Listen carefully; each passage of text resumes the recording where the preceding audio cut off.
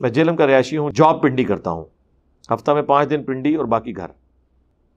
क्या पिंडी में मेरी नमाज़ कसर होगी? जी, कसर होगी अगर आपके बीवी बच्चे पिंडी नहीं रह रहे और आप वहाँ पे बैचलर रह रहे हैं और आपका ज़ाती घर भी नहीं है। तो आप कसर पढ़ सकते हैं। कसर पढ़ना वाजिब नहीं है। जायज़ है। इजाज़त है। पूरी पढ़ना चाहते हैं, पूरी पढ़ लें। और अगर आप कसर करना चाहते हैं तो फिर जमात का क्या करेंगे? और पाँच दिन आपने घर तो नहीं नमाज़ पढ़नी, मस्जिद में पढ़नी, जब मस्जिद में पढ़ेंगे तो इमाम के पीछे तो आपको चार फ़र्ज़ पूरे ही पढ़ने पड़ेंगे।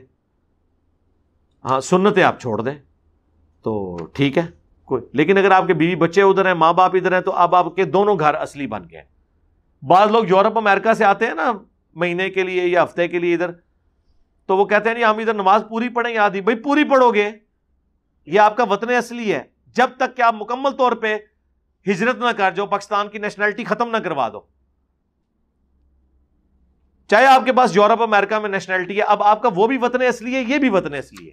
दोनों जगह पूरी नमाज़ होगी अलबत्त जो पार्टीशन के वक्त जिस तरह इंडिया से लोग हिजरत करके पाकिस्तान आ गए, अब उन्होंने दोबारा वहाँ नहीं जाना। कभी एक बार कोई चला जाए तो वो नमाज़ वहाँ पे कसर ही पड़ेगा। अगरचे वो उसका वतन असली था, अब नहीं है। हिजरत के बाद तो खत्म हो गया ना, सब कुछ आप छोड़ के आ गए। अब तो वहाँ पे कोई और मालिक हो चुका है और अगर आपका आना जाना है कहीं पे, जिस तरह इस्लामाबाद ईद के दिनों में आपको ऑलमोस्ट खाली नज़र आएगा, सब लोग अपने आबाई इलाकों में चले जाते हैं। और ये भी और पंद्रह बीस साल तक है। उसके बाद ऐसा नहीं हुआ करेगा। क्योंकि अब जो नस्लें वहाँ जवान हो रही हैं, उनका तो वतन वो है ना। उनको कोई इंटरेस्ट नहीं है कि हमारा पीछे गाँव कौन सा है। ये उस वक्त तक, ये जब तक इनके बूढ़े माँ बाप ज़िंदा हैं, वो जाएँगे, उनको मज़ा आएगा। और ये बड़ी सख्त ज्यादती है कि बूढ़े माँ बाप शादी के बाद बच्चों की बजाय उनके साथ रहने के और वो मेहनत भी मारे, जाके गाँव में रहना शुरू कर दें कि हमारा वो है। और फिर इस पर बच्चों को नाराज़ होंगे, अपनी बीवियों को यहाँ भेजो। क्यों भाई?